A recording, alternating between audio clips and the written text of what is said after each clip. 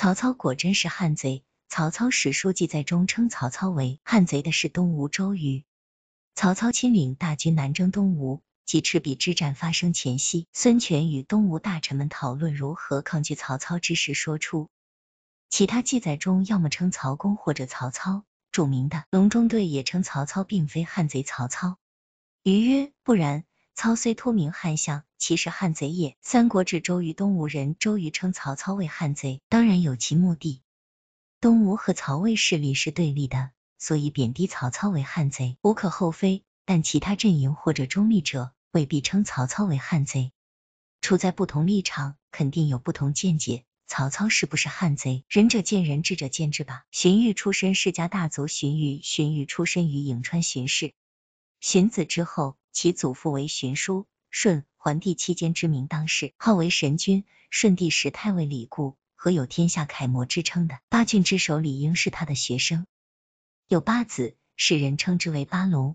父亲荀滚曾任济南相，叔父荀爽曾任司空。荀彧在父亲荀滚的安排下，娶了中常侍唐衡女儿。唐衡是桓帝时期诛灭外戚大将军梁冀的武侯之一，封为汝阳侯。其弟唐真为官至司空，其兄唐炫为官至京兆尹。因为荀彧年少时有才名，才得以免被人讥笑。南阳名士何勇见到荀彧，大为惊异，叹道：“王佐之才也。”刘备四处奔波，刘备刘备大于荀彧二岁。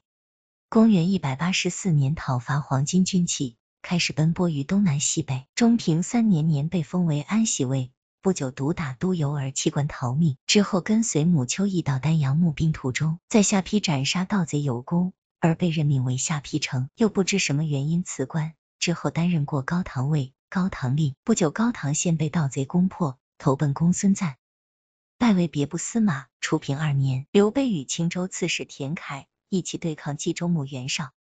刘备因功迁升为世守平原县县令，后领平原国相。孔融卖草鞋出身的一介草民刘备，在诸侯并立的东汉末年。只能算是一位不起眼的小角色。入北海乡，孔融被贼寇围攻，派遣太史慈求救于平原乡刘备时，刘备惊愕地说：“孔北海乃复制天下有刘备邪？”还有袁术写信给吕布时候说道：“数生年以来，不闻天下有刘备。”当时刘备东奔西走，泥菩萨过江，自身难保，还投靠故友公孙瓒，寄人篱下。别说照顾别人，连自己生计也顾不好。门第观念极深的东汉末年，出身士族大家的荀彧不可能投奔连自己个都照顾不好的刘备，或者根本瞧不上草民刘备，如袁术一样根本不知道还有刘备此人。荀彧投奔曹操，董卓中平六年，被荐举为孝廉，任康复县令。董卓作乱时弃官回到家乡，当时董卓挟天子号令天下，世人处于水深火热之中。荀彧认为颍川处于四战之地，将遭受战乱，不是久留之地，于是带领宗族迁至冀州避难。此时袁绍从韩馥手中夺取冀州，以上宾之礼对待荀彧，但接触一段时间之后，荀彧认为绍不一之雄耳，能聚人而不能用，总不能成大事。初平二年，召袁绍游于投奔曹操。袁绍为什么离开当时实力更强大的袁绍，而投靠相对实力弱的曹操呢？从当时世人们的评价中，窥见一般，鬼才。郭嘉曾经也服务于袁绍，他认为袁公图欲效周公之下士，而为之用人之机，多端寡要，好谋无决，而离开袁绍，讨伐董卓的关东军。十二路诸侯之一的济北乡报信，目睹袁绍胁迫韩馥夺取冀州之时，说道。袁绍为盟主，因权夺利，将自生乱，是富有一着也。报信相反，世人对曹操的评价相当高。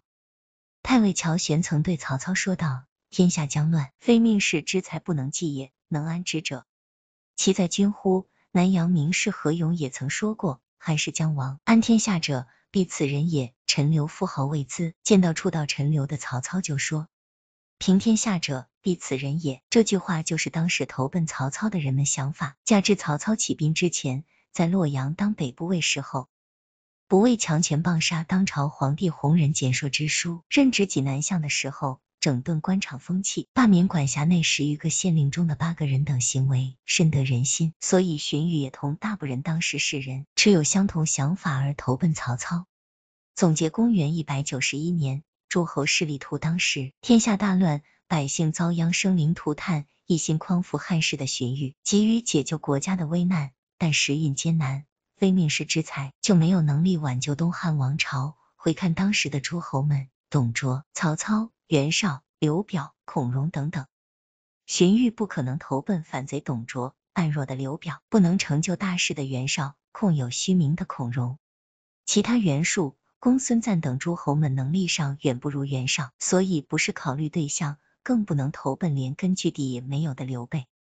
心系急于救国的荀彧来说，具有雄才大略的曹操，加上当时曹操很理智的控制自己。未露出狼子野心，此种情况下，荀彧投奔曹操是最佳选择。